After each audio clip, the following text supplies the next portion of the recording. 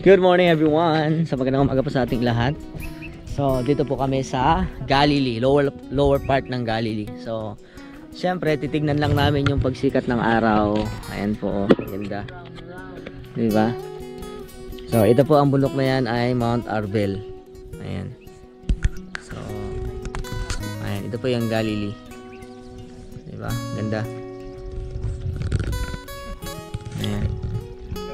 Okay. So, ito yung bus namin. Ito po yung mga lakwatsera. So, sobra namin kalalakwatsa at wala nang CR. Nakarating kami dito. Ayan. Oh.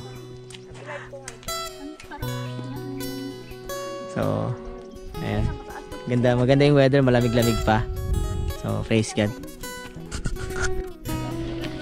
Ayan mga kapatid, kasama po namin yung mga caregiver dito. Kasama ko po si Jericho Rosales, eh, no? Hello! Hi, fans! so, ayan.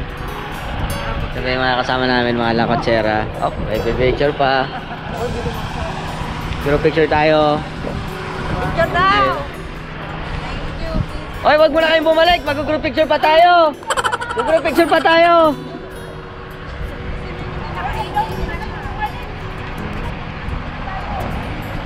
Ayan. So, ito, ganda ng bundok.